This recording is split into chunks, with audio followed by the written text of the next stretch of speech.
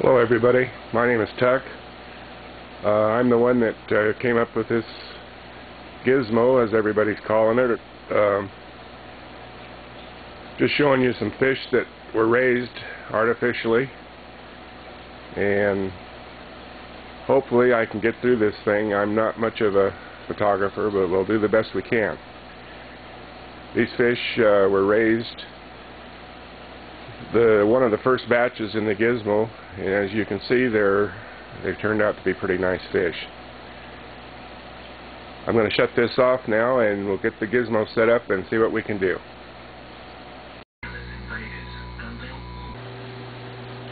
Okay here's the prototype uh, the very first one that I built. Um, it's really pretty simple. What you have is a tub inside of a tub as you can see, the outside tub uh, is about uh, five gallons, maybe a little less, and then the smaller one inside. What you see on the end, the black object, is a cheap Aqua uh, Tech uh, filter that's purchased at Walmart. That's what you put on the big tub.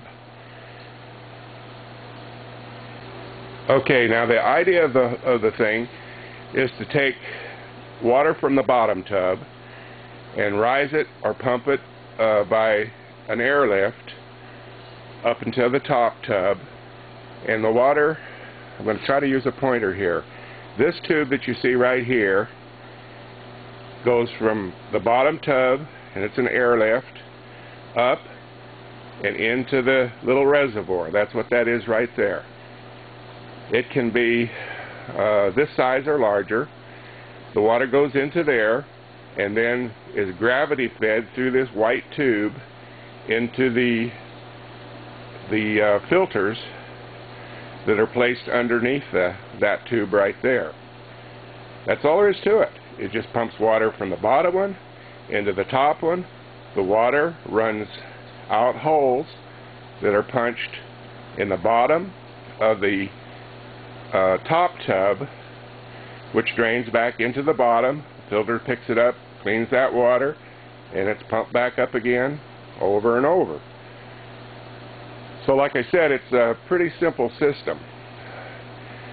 Now I've made a few little changes on it, uh, on the uh, the unit that I call a four-holer. It just is, what it amounts to is, is it's uh, a larger tub, and I'll get it out here in a minute and and show you what changes I did make on that.